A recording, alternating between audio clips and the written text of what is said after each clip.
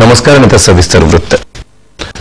जी व्यक्ती आपल्या यशामध्ये पक्षातल्या वरिष्ठांना डावलते ज्या व्यक्तीला आपल्या देशाचा इतिहास माहीत नाही अशी व्यक्ती देशाच्या पंतप्रधान पदासाठी कशी काय योग्य ठरू शकते? असा सवाल राष्ट्रवादी काँग्रेसचे अध्यक्ष शरद पवार यांनी केलाय. ते काल पुण्यामध्ये राष्ट्रवादी काँग्रेसच्या कार्यकर्ता मेळाव्यात बोलत होते. या मेळाव्यात त्यांनी प्रधानमंत्री पदाचे उमेदवार नरेंद्र मोदी यांचा प्रत्यक्ष उल्लेख न करता कडाडून टीका केली. ज्या प्रकारे प्रसारमाध्यमांमधून व्यक्तिकेंद्रित प्रचार चालू आहेत फॅसिस्ट प्रवृत्ती निर्माण होऊन देशाला धोका पोहोचण्याची भीती असल्याचं त्यांनी सांगितलं.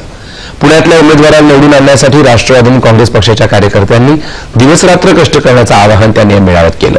दरम्यान काल बीडमधल्या प्रचारसभेतही शरद पवार यांनी मोदींवर हल्लाबोल केला. धर्माच्या नावावर राजकारण करणारी व्यक्ती सत्तेवर आल्यास देशाच्या ऐक्याला धोका निर्माण होण्याची भीती त्यांनी व्यक्त केली. राष्ट्रवादीचे उमेदवार सुरेश धस यांच्या प्रचारसभेत दुष्काळात पशुधन वाचवण्यासाठी गुजरातमधून चारा देणाऱ्या मदत करणाऱ्या व्यक्ती आणि संस्थांची चौकशी मोदींनी सुरू केली होती. अशी व्यक्ती जर प्रधानमंत्री बनली तर ती संकट काळात शेतकऱ्यांना कोणता दिलासा देणार आहे असा प्रश्नही पवार यांनी उपस्थित केला. राजस्थानमध्ये